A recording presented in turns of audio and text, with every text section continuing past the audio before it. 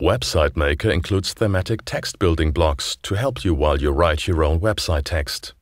Add these text templates or your own text to your website. Next, you can make changes to the text, font, color, size, or other text settings.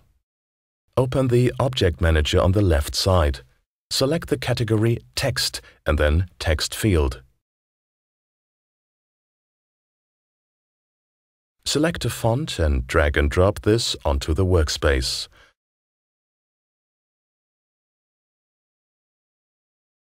Alternatively, select the object and click Insert.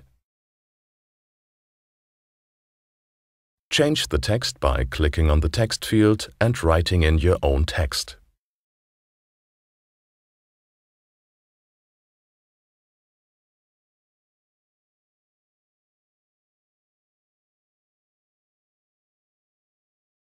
To change the text properties, select the text field and open the Properties Manager.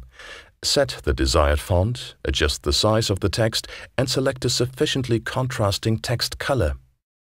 Text templates or text effects can be added in the same way and customize them however you want them.